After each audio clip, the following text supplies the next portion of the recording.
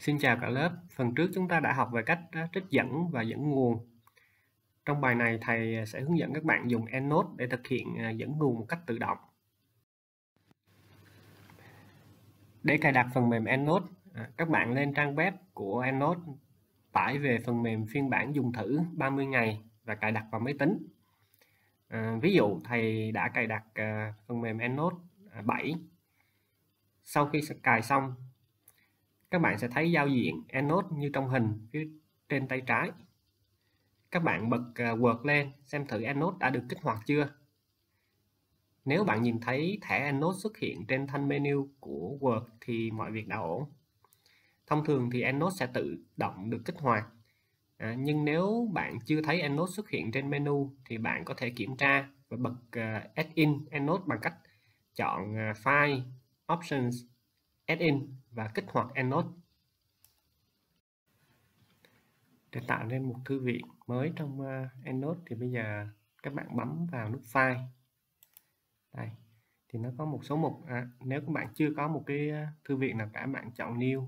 Nếu các bạn đã có một cái thư viện nào đó rồi thì các bạn có thể mở nó bằng cách bấm Open Library ha. Thì bây giờ thầy chưa có cái thư viện nào cả cho nên thầy sẽ chọn New. À, thì bây giờ à, trong cửa sổ nó hiện ra thì thầy à, đặt tên cho cái thư viện mới của mình. Ví dụ à, thầy đặt tên là phương pháp nghiên cứu khoa học ha. À, thì bây giờ thầy bấm save nó sẽ lưu lại. À, thì bây giờ à, máy nó hiện ra cái thư viện của mình rồi đây này thì bên góc trái màn hình á, thì các bạn sẽ thấy có có một cái ô à, nó hiện lên cái cấu trúc của cái thư viện của mình thì ở đây à, các bạn có thể tạo ra một số các thư mục nhỏ à, để các bạn phân loại ha. Ví dụ như thầy tạo ra một cái thư mục bấm bấm bấm nút phải chuột phải ha. Các bạn chọn create group chẳng hạn vậy. À, thì ở đây các bạn chọn ví dụ như thầy chọn sách À, thầy cũng có thể mở thêm một cái thư mục nữa để phân loại. Ví dụ như thầy à, chọn là báo. Rồi. À, thì tương tự như vậy các bạn có thể tạo ra rất nhiều cái thư mục để mà phân loại à, tài liệu của mình. Bây giờ giả sử thầy à, đã có một cái thư viện à, rồi bây giờ thầy muốn à, lót nó vào trong EndNote thì như thế nào? À, thì các bạn vào cái thư mục folder các bạn thấy có một cái thư mục là sách thống kê các bạn lót nó về máy ha à, bây giờ thầy à, lót ờ, cái ờ, à, cái file à, sách thống kê về máy rồi. Bây giờ thầy muốn mở nó ra bằng EndNote thì thầy sẽ làm thế nào? Thầy ấn file này chọn open library ha. À, thì ở đây thầy thầy đã lưu cái file sách thống kê ở trong ờ, máy của thầy và thầy bấm thầy chọn. À, sau đó thầy ấn ok à, thì bây giờ máy nó sẽ tự động nó load cho thầy cái à, cái à, cái file à, sách thống kê. À, thì đây thầy chia sẻ với các bạn ba file ha. Còn à, sách của à, thống kê ứng dụng trong kinh tế xã hội cũng quan trọng này. À, phân tích dữ liệu với SPSS tập 1 và phân tích dữ liệu với SPSS tập 2 các bạn có thể đọc à, ở trên à, uh, EndNote luôn cũng được. Sau khi tạo thư viện rồi thì bây giờ chúng ta bắt đầu sẽ nhập à, tài liệu vào trong thư viện. Ví dụ thầy muốn nhập một tài liệu là cuốn sách của giáo sư Nguyễn Văn Tuấn đi vào nghiên cứu khoa học ha. À, thì bây giờ ví dụ thầy muốn à, đặt nó vào cái mục à, sách à, trong cái thư viện của mình mình phân loại ngay từ đầu luôn ha. Thì bây giờ thầy bấm vào cái thư mục sách này. Sau đó thầy bấm vào cái ô có cái dấu cộng màu xanh xanh đây các bạn ha các bạn bấm vào đây. À, thì sau khi các bạn bấm vào cái nút màu xanh thì à, máy sẽ hiện ra một cái bảng để chúng ta nhập những cái thông tin à, của cái tài liệu chúng ta vào. Thì trước tiên các bạn phải chọn à, loại tài liệu. À, thì à, cái ô reference type mặc định người ta sẽ để là journal article tức là bài báo khoa học. À, thì bây giờ mình nhập à, sách. À, thì mình bấm vào đây mình chọn sách. À. à, thì các bạn thấy ở trong này có rất nhiều loại tài liệu nè. À, thì nếu các bạn có EndNote trong tay các bạn không cần nhớ quy tắc uh, uh, nhập uh, thông tin của các loại tài liệu. Uh, mình chỉ cần loại, chọn đúng loại tài liệu là máy nó sẽ hiện ra những cái cái trường thông tin cần thiết cho mình. Thì đây mình chọn là book Nào, thì bây giờ mình bắt đầu điền thông tin vào những cái ô phía dưới. À, thì như các bạn à, biết là à, trong cái bài trước á, thì chúng ta à, biết là sách thì chúng ta phải điền tên tác giả này năm xuất bản à, tên sách vân vân. À, thì bây giờ mình tìm cái thông tin đó ở trong cái cuốn sách. À, đây. Thì à, cuốn sách của mình tên là đi vào nghiên cứu học này à, tác giả Nguyễn Văn Tuấn. À, nhà xuất bản tổng hợp thành phố Hồ Chí Minh ha. À, nơi xuất bản là thành phố Hồ Chí Minh này à, rồi à, năm xuất bản là 2015 thì bây giờ chúng ta quay lại chúng ta sẽ nhập vào. À, về tác giả thì các bạn nhập họ trước nha các bạn nhập họ trước Nguyễn này à, tên à, các bạn phẩy một cái ha. Ở đây này các bạn nhớ dấu phẩy nha phẩy này tên là Văn Tuấn. Các bạn ghi bình thường cũng được các bạn viết tắt cũng được nhưng à, các bạn ghi bình thường. À, máy tự động nó sẽ sẽ chuyển qua. Cái chế độ là ghi tắt. Năm thì à, 2015 tên là đi vào nghiên cứu khoa học ha. À, đi vào nghiên cứu khoa học. Những cái trường này mình không có cho nên mình không cần ghi. À, play published. Thì à, chúng ta ghi à, nơi xuất bản ha. Thành phố là gì tắt nha. Hồ Chí Minh nè publisher tức là nhà xuất bản. Đó, nhà xuất bản tổng hợp. Thành phố Hồ, Hồ Chí Minh. Sau khi điền những trường thông tin cần thiết rồi thì các bạn bấm cái nút ở phía trên này. Máy người ta sẽ hỏi bạn có lưu hay không. À, thì ở đây các bạn có thể bấm yes để mình lưu lại.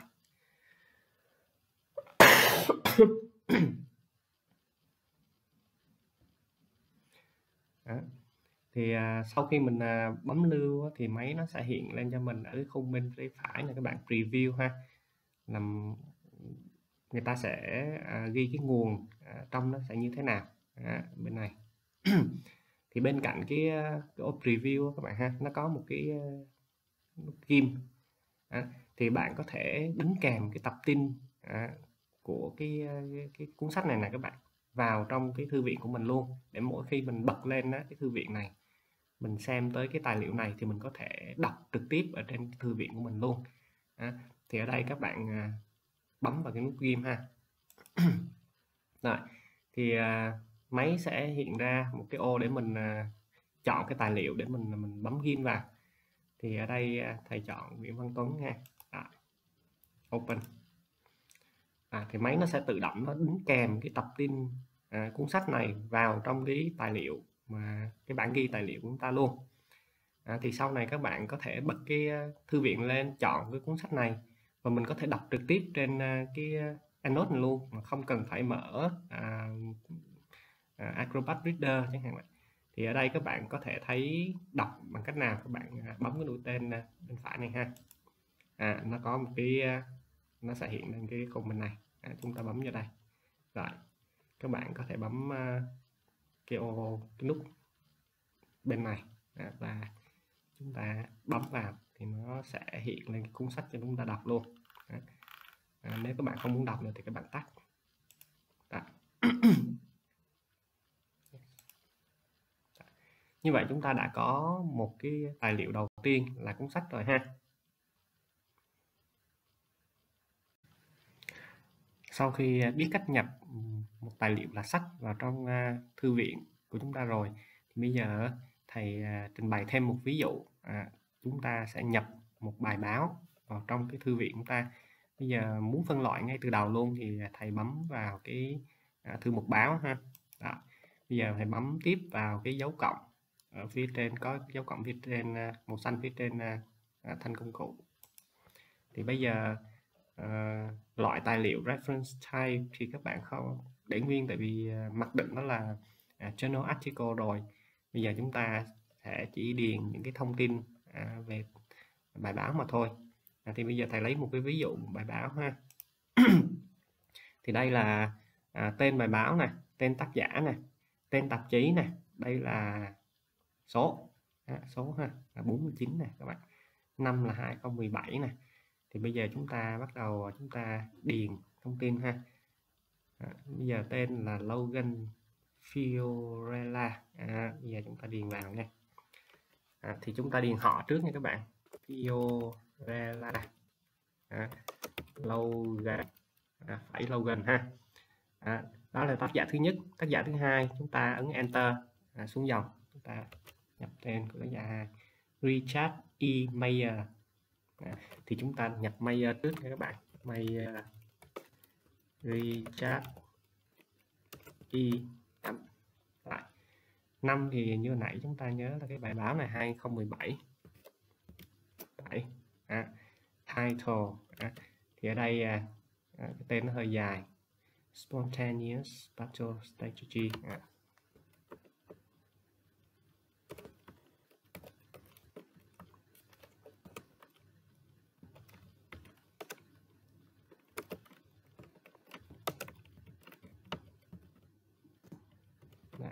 Spontaneous use in learning from scientific tests. Use in learning from scientific text text. Không có s. Không Đó. journal. À, thì chúng ta nhập tên. Contemporary educational psychology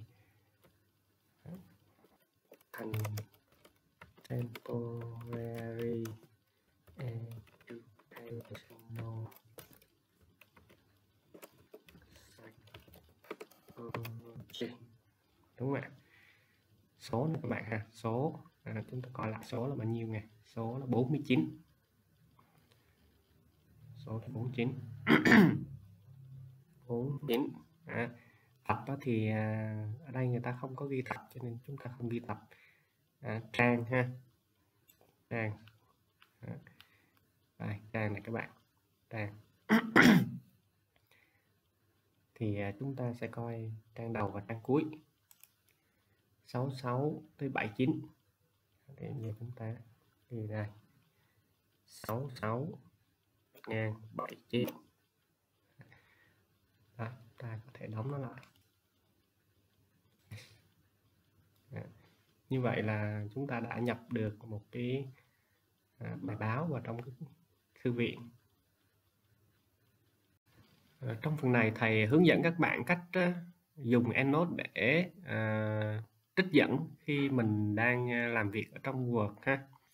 Thì à, đây là ví dụ thầy à, lấy ra từ slide. Đó.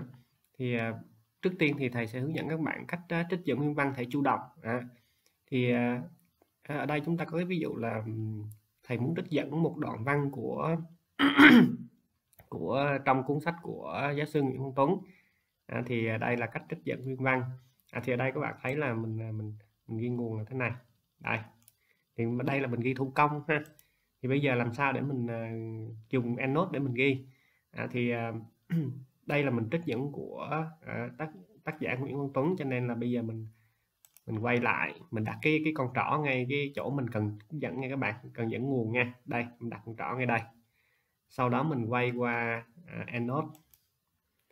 Mình chọn đúng cái tác phẩm của à, giáo sư Nguyễn Văn Tuấn đây. sau đó các bạn à, nhìn thấy cái các bạn bấm vào cái nút à, có cái mũi tên dấu đỏ này các bạn ha đây mũi tên dấu đỏ này. Các bạn bấm nút. À thì ở đây thì um, uh, à, Anode sẽ uh, chèn cái uh, cái cái tài liệu trích dẫn của mình vào vào cái vị trí mà con, con chuột mình để ha. Đây cái con trỏ mình để này à, thì khi người ta Ờ, anode chèn các bạn. Người ta máy nó sẽ để ở trong ngoặc thì bây giờ làm sao mình dời cái chữ Nguyễn ra khỏi cái ngoặc? À, sao cho nó giống bên này? À, giống bên này. Thì các bạn à, các bạn móc chuột trái này à, các bạn chọn edit citation này các bạn ha. Các bạn à, chọn display as author year. À, thì bây giờ chúng ta thấy nó giống giống như ở bên à, à, cách mà chúng ta làm thủ công này. Nhưng mà nó thiếu trang thì bây giờ làm sao để chèn thêm số trang? À, thì các bạn lại bấm chuột à, phải. Đó, các bạn chọn cái phần edit citation các bạn chọn phần more. À ở đây thì nó có nó hiện ra một số cái ô. À, thì đây là các bạn có prefix tức là mình thêm chèn phía trước ha chèn thêm một cái chữ gì đó phía trước. À, surface mình chèn thêm cái chữ gì đó phía sau.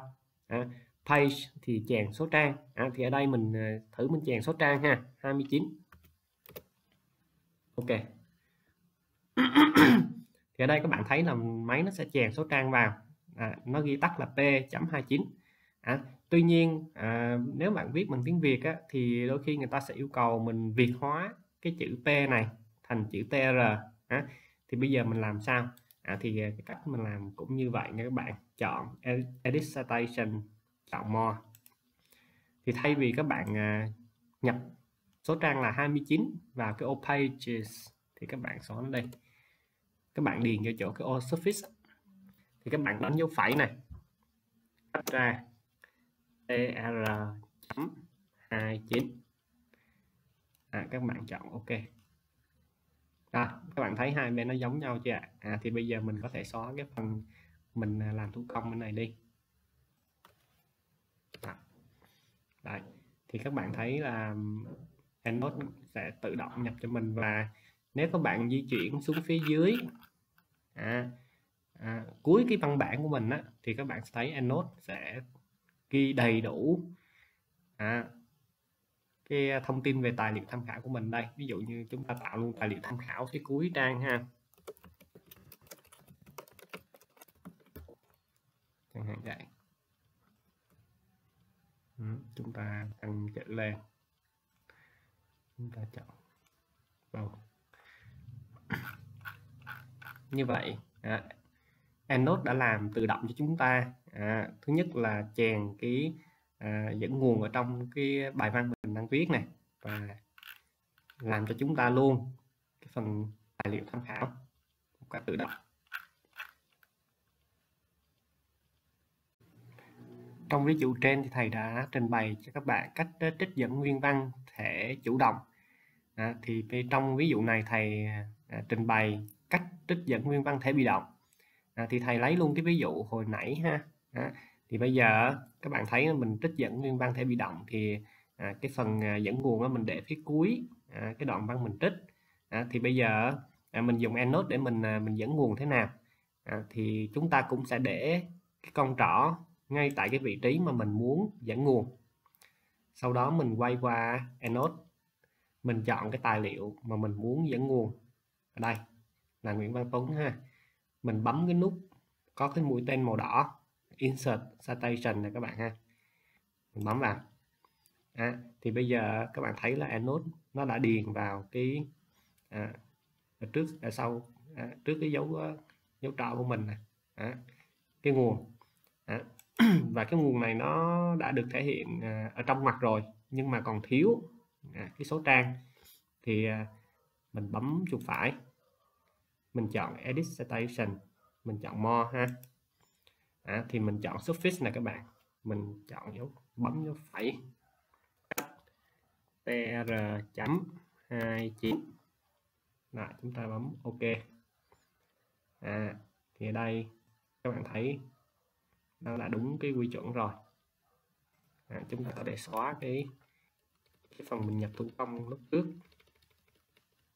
À, à, thì à, khi các bạn à, dùng EndNote đó để các bạn à, dẫn nguồn á thì khi các bạn bấm vào cái chỗ mình dẫn nguồn này nè nó sẽ hiện lên à, một cái ô bôi màu hơi xám xám một tí. Đây này các bạn hơi xám xám một tí ha. À, còn nếu các bạn dẫn nguồn á, mà bằng thủ công không dùng EndNote á, à, thì nó sẽ không hiện đến gì cả. Nó sẽ để một cạnh trong ví dụ tiếp theo thầy hướng dẫn các bạn cách uh, trích dẫn diễn giải thể chủ động. Thì uh, theo cách uh, uh, trích dẫn diễn giải thể chủ động thì chúng ta để tên tác giả ở vị trí chủ ngữ ha. Đây Nguyễn mở ngoặc 2015 thì bây giờ mình muốn dùng EndNote thì à, mình sẽ làm như thế nào? Mình để con trỏ ngay tại vị trí. À, mình muốn trích dẫn ha. Ví dụ đây cái vị trí mình muốn trích dẫn. Sau đó mình vào EndNote mình chọn tài liệu này các bạn. Sau đó mình chọn cái nút có cái mũi tên màu đỏ Insert Citation. Bấm vào. À, thì mặc định là EndNote sẽ để tên tác giả và năm ở trong ngoặc. À, thì bây giờ mình muốn thể hiện à, cái họ tác giả này các bạn ở ngoài ngoặc thì sao? Mình bấm chuột phải. Mình chọn Edit Citation. Mình chọn Display as Author Year. À, như vậy mình đã có cái cách dẫn nguồn nó đúng rồi ha. À, tích dẫn diễn giải thẻ bị động à, thì bây giờ chúng thấy là à, tên tác giả mình để cuối ở trong ngoặc ha. Thì dùng EndNote thì như thế nào? À, chúng ta đặt con trỏ tại vị trí chúng ta muốn đặt cái trích dẫn. Sau đó mình vào EndNote mình chọn tài liệu. Sau đó mình bấm cái nút mũi tên có mũi tên màu đỏ. À, insert citation Đấy. như vậy à, mặc định là chúng ta thấy là à, tên tác giả và năm xuất bản tài liệu nó nằm ở trong ngoặc rồi. Đúng rồi cho nên chúng ta không cần phải chỉnh sửa gì nữa. Với trích dẫn của trích dẫn tức là trích dẫn thứ cấp. Thì um, bây giờ à, chúng ta đọc à, tài liệu của tác giả tên Nguyễn ha 2015 à, nhưng mà tác giả tên Nguyễn này lại trích dẫn của một tác giả tên Lê. À, họ Lê ha năm 2010 à, thì theo nguyên tắc trích dẫn của trích dẫn thì tác giả gốc mình để trước các bạn nha. Tác giả gốc để trước Lê 2010 mình để trước. Sau đó mình phải trích trong Nguyễn rồi cái cái tác phẩm mà mình à, thực đọc các bạn. Nguyễn 2015 à, thì bây giờ mình, à, mình ghi trích dẫn như thế nào? Mình đặt con trỏ tại vị trí mình muốn ghi trích dẫn này các bạn. Sau đó mình vào EndNote mình chọn cái tác phẩm mình thực đọc ha. Là Nguyễn Văn Tuấn này mình chọn cái mũi tên màu đỏ insert citation à, bây giờ làm sao để mình chèn? À, cái cụm từ lê 2010 phải trích trong à, vào trước cái tên của à, tác giả Nguyễn. Thì bây giờ mình sẽ bấm chuột phải chọn edit citation mình chọn more Đấy. như vậy à, trong cái prefix đó các bạn tức là à, mình muốn điền thêm những cái từ nào đó phía trước à, à, cái cái à, cái cái dẫn nguồn của ta thì chúng ta bấm vào cái ô này. À, mình ghi vô ha le này phẩy này 2010 này phẩy này. Tích trong cách à. ra chúng ta bấm ok à, như vậy nó sẽ điền vô trong chúng ta những cái phần mà chúng ta muốn thêm. À, đây chúng ta có thể xóa được cái phần mà chúng ta nhập thủ công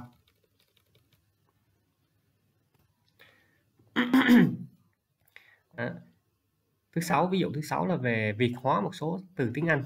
À, thì ví dụ các bạn à, dẫn tài liệu mà có hai tác giả à, thì ví dụ như trong trường hợp này Fiorella ha và Mayer này các bạn ha 2017 cho rằng sinh viên dùng chiến lược ghi bài khác nhau tùy theo bối cảnh. À, thì bây giờ mình dùng EndNote để mình à, à, dẫn nguồn nha. Đây mình đặt con trỏ tại nơi mình muốn dẫn nguồn. Sau đó mình vào EndNote mình à, chọn tài liệu. Mình bấm insert citation. Thì bây giờ à, tên hai tác giả nằm trong ngoặc. Bây giờ mình làm sao mình đưa ra ngoài ngoặc? Thì mình bấm chuột phải. Mình chọn edit citation chọn display as author year. À ở đây các bạn thấy ạ. Bây giờ mình xóa cái phần mà mình làm thủ công đi ha.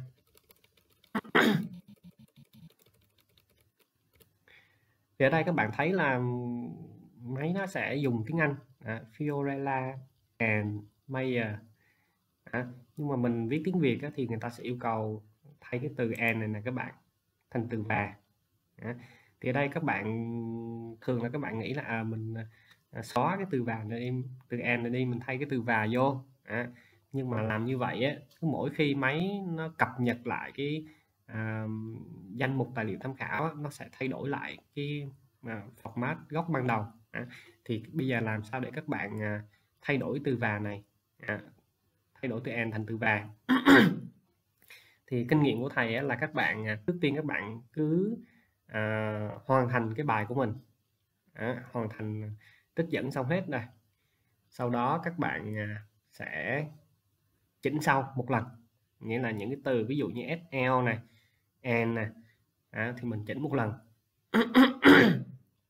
Thì mình chỉnh như thế nào? Đây các bạn nhìn lên thanh à, menu ha của Word ha. Các bạn chọn cái thẻ EndNote 7 này EndNote 7 này ha. Ở đây các bạn phải tắt cái chức năng mà tự động format đi. Ở đây các bạn thấy cái chức năng tự động format năng bật đúng không ạ? Thì nghĩa là à, mình có thay đổi à, chữ như thế nào đi chăng nữa. Thì à, khi mình cập nhật à, tài liệu tham khảo thì máy nó sẽ tự động nó khôi phục lại cái format ban đầu à, thì ở đây các bạn cần phải tắt cái à, format đây này à, sau đó các bạn mới chỉnh sửa. Ví dụ như bạn à, chỉnh chữ vài đó. đó là cách chúng ta chỉnh sửa. Nhưng mà các bạn nhớ là à, khi các bạn bật à, format lên à, máy nó sẽ tự động nó cập nhật tài liệu tham khảo. À, và nó sẽ sửa lại chữ và thành chữ n như cái format ban đầu. Thành ra các bạn cần phải à, hoàn thành toàn bộ cái bài của mình rồi ha. Sau đó những cái từ mình muốn việt hóa thì mình sẽ à, sửa một lần. À, lúc đó mình tắt cái chức năng format này đi. À, sau đó mình thay chữ và vào. À, được chưa à, thì nó sẽ không sửa lại nữa các bạn ha.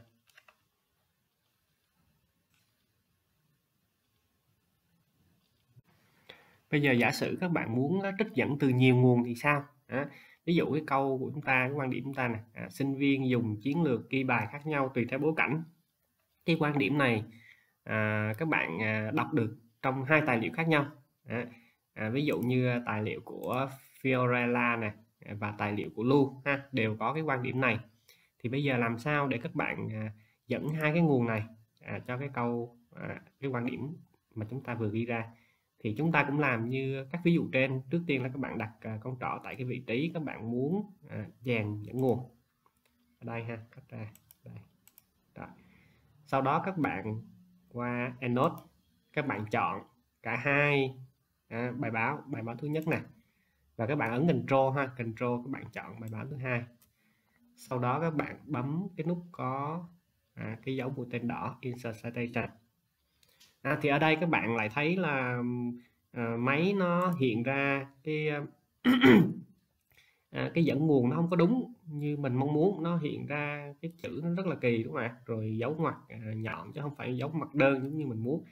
À, lý do là vì các bạn nhớ hồi nãy chúng ta đã tắt cái chức năng à, format đúng không ạ? Đây các bạn nhìn thấy nè chức năng format nó bị tắt rồi nghe bị tắt rồi. À, cho nên là khi bạn tắt chức năng format đó, thì khi các bạn à, dùng uh, EndNote các bạn uh, insert những cái cái tài liệu tham khảo vào các bạn thì nó sẽ hiện ra những ký hiệu rất là kỳ lạ. À, thì cách giải quyết rất đơn giản các bạn bật nó lên bật lên lại.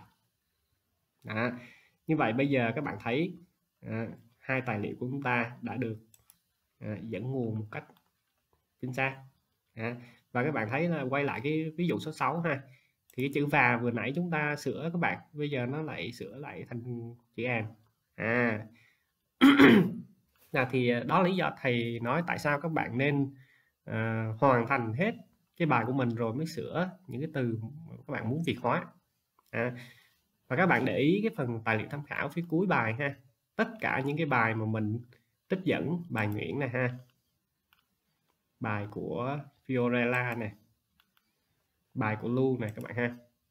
Thì máy nó tự động nó ghi nguồn ở phía cuối cùng cho mình. À. và các bạn có thể điều chỉnh phong phông chữ à, và kích cỡ chữ cho nó đẹp hơn. À, cho nó đúng yêu cầu của môn học ví dụ kích cỡ 14 này ha. À, kiểu chữ thì tùy các bạn. Thì ở đây các bạn à, bây giờ mình muốn uh, sửa lại cho nó hoàn chỉnh. Thì bây giờ mình muốn lại thay cái chữ va n này nè các bạn thành chữ va. À, thì à, các bạn biết mình phải làm sao đúng không ạ? À, trước tiên mình phải tắt cái chức năng format đi. À, sau đó các bạn sửa ở đây chữ va. Như vậy là xong các bạn.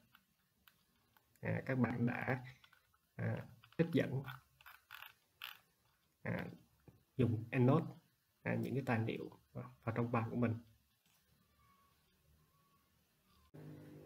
À, bây giờ giả sử các bạn à, học ở trường khác hoặc là các bạn à, liên hệ với một à, à, tổ chức khác chẳng hạn vậy người ta không sử dụng cái hệ thống trích dẫn API 6 mà người ta dùng cái chuẩn của Harvard chẳng hạn vậy ha thì bây giờ mình làm sao để mình thay đổi? À, mình có phải làm lại từ đầu tới cuối hay không? À, câu trả lời là không các bạn.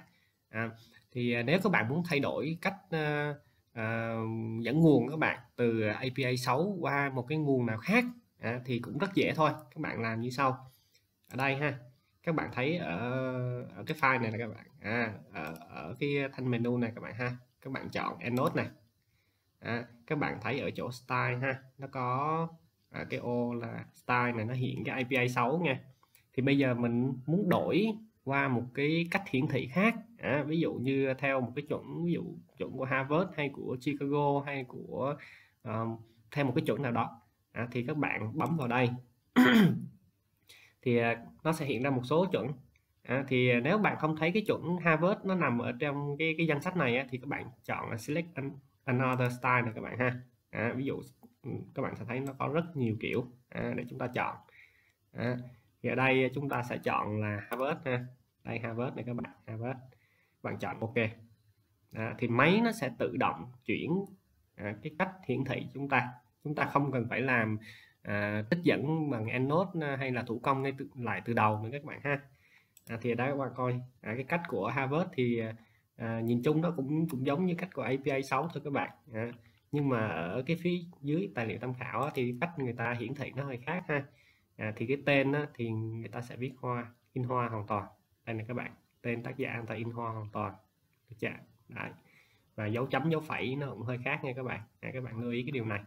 À, thì ở đây các bạn thấy mỗi khi chúng ta thay đổi thì format nó sẽ à, thay đổi. Cho nên ở đây cái từ and ha mình lại thay đổi mình phải sửa lại thành từ và